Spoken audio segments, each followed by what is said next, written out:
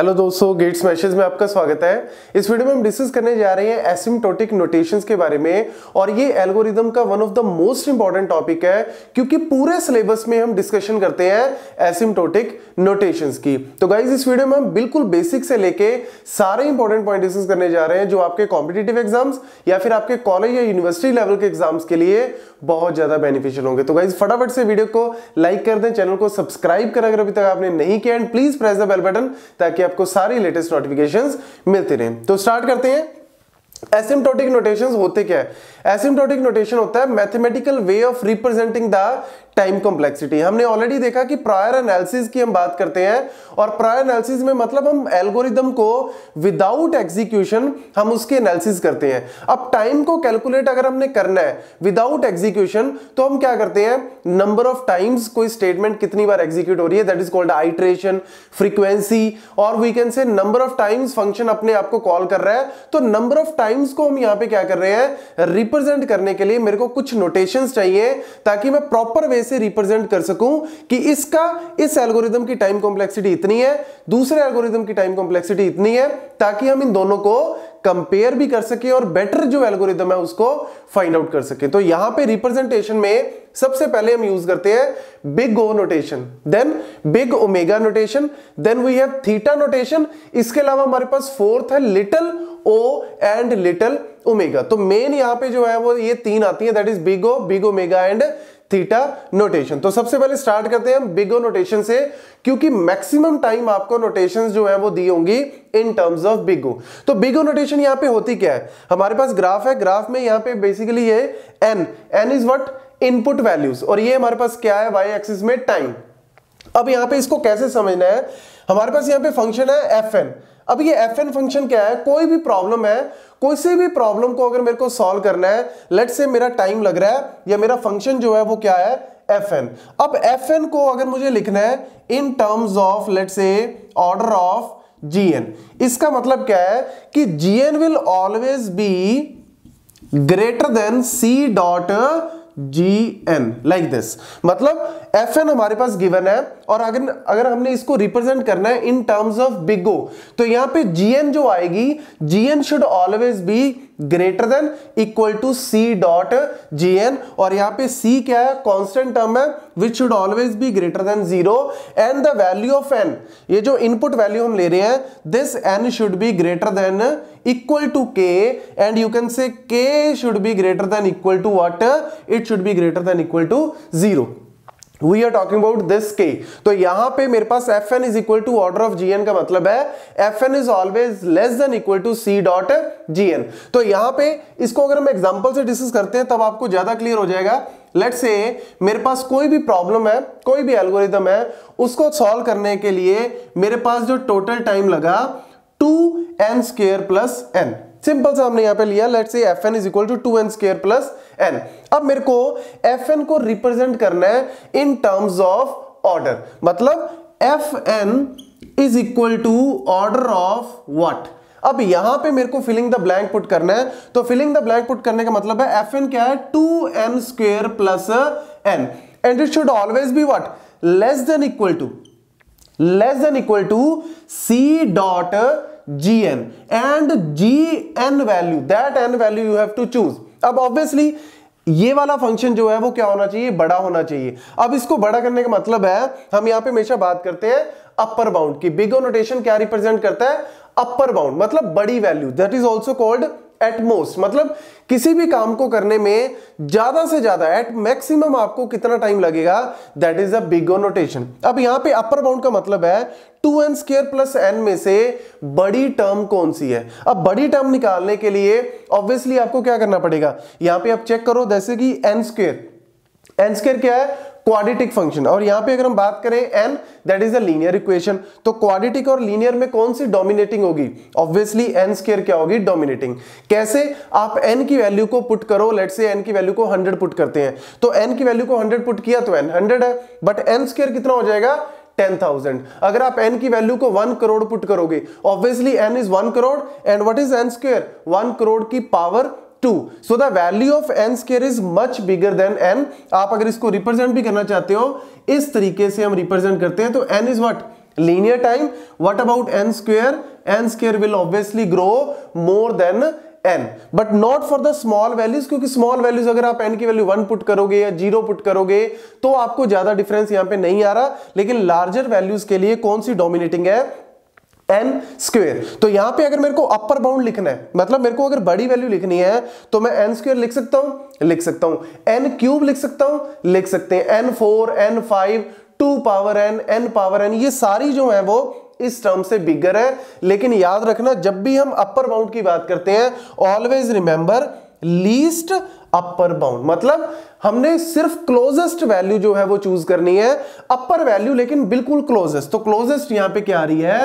N square तो ये point जो है यहाँ पे रिप्रेजेंट कर रहा है that is two n square plus n should always be less than equal to c dot g n square अब यहाँ पे वैल्यू क्या लेनी है? आपको सी की वैल्यू जो है यहाँ पे चूज़ करनी है।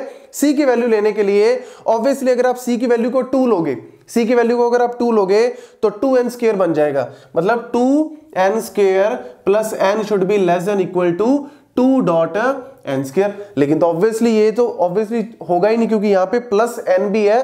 तो सी की वैल्यू को आप क्या लो? सी की वैल्यू को हम लेते हैं थ्री तो अगर मैं सी की वैल्यू को थ्री लेता हूँ तो इसको अगर आप सॉल्व करते हो तो क्या बन जाएगा? N is less than equal to two n square इधर चला गया।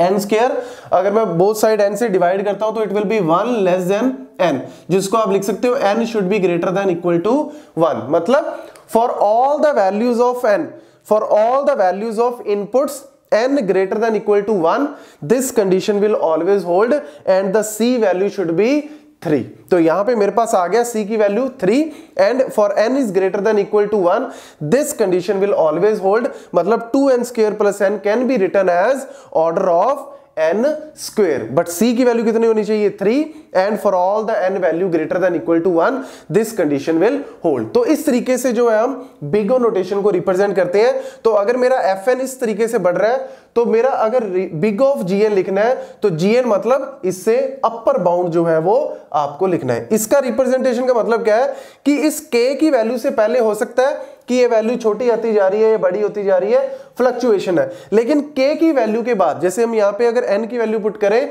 अब एन की वैल्यू वन पुट करो टू पुट करो थ्री पुट करो फोर पुट करो तो आप चेक करो, ये वाली वैल्यू हमेशा जो है वो बड़ी आएगी। आप चेक कर सकते हो लेट से एन की वैल्यू को मैं फाइव पुट करता हूँ। तो यहाँ पे क्या आएगा? Two into five square plus five is always less than equal to three dot five square तो देखो this is twenty five into two 50 that is 55 less than equal to 25 into three seventy तो देखो, आप proof भी कर सकते हो कि हाँ सारी वैल्यूज़ के लिए n is equal to one से लेके आप जो भी वैल्यू पुट करोगे for C3 it will always hold the condition of order of n square तो this this is how we represent the big O notation then हम बात करते हैं बिग ओमेगा की. बिग ओमेगा का मतलब यहाँ पे क्या होता है?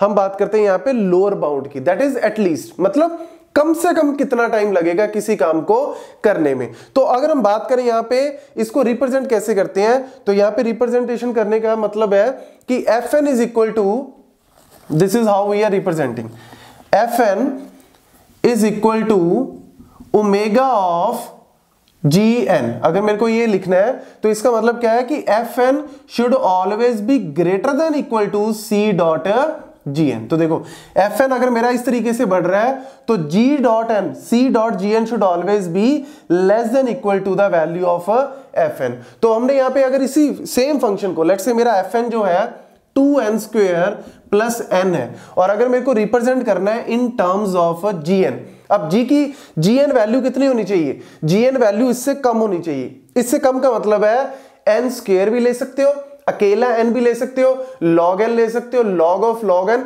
ये सारी वैल्यूज़ इस टर्म से क्या है? छोटी। लेकिन जब भी हम बात करते हैं लोअर बाउंड की तो हमेशा याद रखना we have to take the greatest lower bound मतलब क्लोजेस्ट जैसे फाइव से छोटा फोर भी है थ्री भी है टू भी है। लेकिन मेरे को वन या ज़ीरो नहीं लेना। मेरे को फाइव से क्लोजेस्ट कौन है सबसे छोटा? फोर तो मेरे को यहाँ पे ग्रेटेस्ट लोअर बाउंड जो है वो लेना जैसे हम यहाँ पे अपर बाउंड ले रहे हैं लीस्ट तो यहाँ पे हमने ग्रेटेस्ट लोअर बाउंड तो यहाँ पे अगर मैं बात करूँ एन स्क्र भी ले सकते हो, अकेला एन भी लिख सकते हो लॉग एन भी लिख सकते हो, लेकिन आपको नियरेस्ट वैल्यू लिखनी है.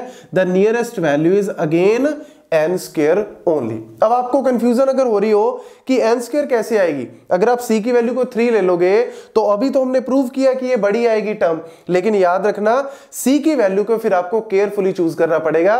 यहाँ पे आपको सी की वैल्यू को चूज़ कर लो टू अब सी की वैल्यू अगर मैं चूज़ करता हूँ तो देखो two n square plus n will be greater than equal to two dot n square तो देखो, आपको क्लियरली यहाँ पे दिख रहा है two n square two n square तो बराबर ही है, और यहाँ पे प्लस एन भी है तो this term will always be greater than this term और अगर आप प्रूव करना चाहते हो तो यहाँ पे इसको आप n greater than equal to two n square को अगर इधर ले जाते हो तो टू एन स्केयर से टू एन स्केयर माइनस हो गया। यानी for all values of n greater than equal to zero n का मतलब यहाँ पे क्या है? दिस के मतलब एन की वैल्यू तो आप कुछ भी पुट कर सकते हो, लेकिन ज़ीरो से लेके अगर आप बढ़ाते जाओगे zero one two three four five up to n this condition will always hold but c value should be what c value should be two only c value can be one also one के लिए भी fold करेगा, लेकिन आपको closest value जो है यहाँ पे चूज़ करनी है। तो सी की वैल्यू टू के लिए this term will always be less आप चेक करना चाहते हो तो let's say again five value put कर लो। It will come to be 55 and it will be what fifty तो ये टर्म जो है वो हमेशा क्या आएगी? इससे लेस आएगी। तो this is how we represent the big omega that is at least और ग्रेटेस्ट लोअर बाउंड थर्ड आता है थीटा नोटेशन थीटा नोटेशन का मतलब है एवरेज। इसको हम रिप्रेजेंट करते हैं इस तरीके से। That f n should be greater than c one dot g n and it should be less than c two dot g n ये देखो if we have a function f n की value जो है वो c one dot g n से बड़ी हो, लेकिन c two dot g n से छोटी होनी चाहिए। ये हम ऑलरेडी कैलकुलेट कर चुके हैं। यहाँ पे c one dot g n का मतलब क्या है? अगर मेरा एफ़ एन है two n square plus n तो जी एन की वैल्यू यहाँ पे क्या आएगी? एन स्क्र और यहाँ पे भी मेरे पास जी एन की वैल्यू क्या आएगी? एन स्क्र लेकिन सी वन की वैल्यू इस वैल्यू को आपने क्या करना है? लेस देन करना है तो सी वन की वैल्यू आपको क्या चूज़ करनी पड़ेगी? टू और यहाँ पे सी टू की वैल्यू क्या ले लो? थ्री तो यानी two n square plus n is always greater than two n square and it will always be less than three n square तो ये हम रिप्रेजेंट करते हैं in case of theta which is a average case time complexity अगर आप इसको simple way से समझना चाहते हो लेट से मेरे पास कॉपी है। अब इस कॉपी में अगर आप किसी टॉपिक को सर्च कर रहे हो, कोई इंडेक्सिंग कोई हैशिंग कुछ नहीं है तो एक तो आपके पास क्या है? बेस्ट केस बेस्ट केस का मतलब है ओमेगा मतलब आपने जैसी पहला पेज पलटा, आपको टॉपिक अपना मिल गया। लेकिन what is the meaning of worst case worst case का मतलब क्या है? एट मैक्स तो एट मैक्स का मतलब क्या है कि आप एक एक करते ढूंढते जा रहे हो, लेकिन आपको डिज़ायर टॉपिक कहाँ पे मिला?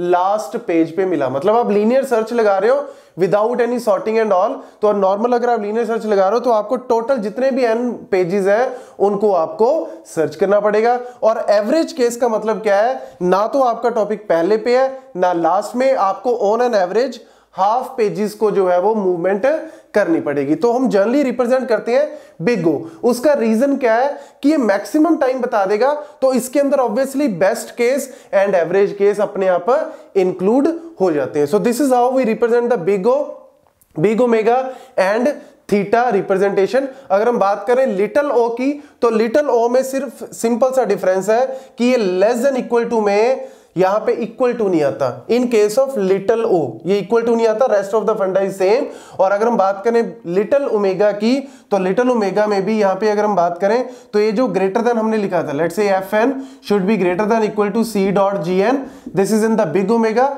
in little omega F N should always be greater than C dot G N this is the only difference between these two अब हम जितनी भी टाइम कॉम्प्लेक्सिटीज देखेंगे सर्चिंग सॉर्टिंग एल्गोरिदम्स की, सारों में आपको रिप्रेजेंटेशन आएगी in terms of big O best case average case and worst case but remember this is important. This big o representation is much more important than the other representation. Thank you.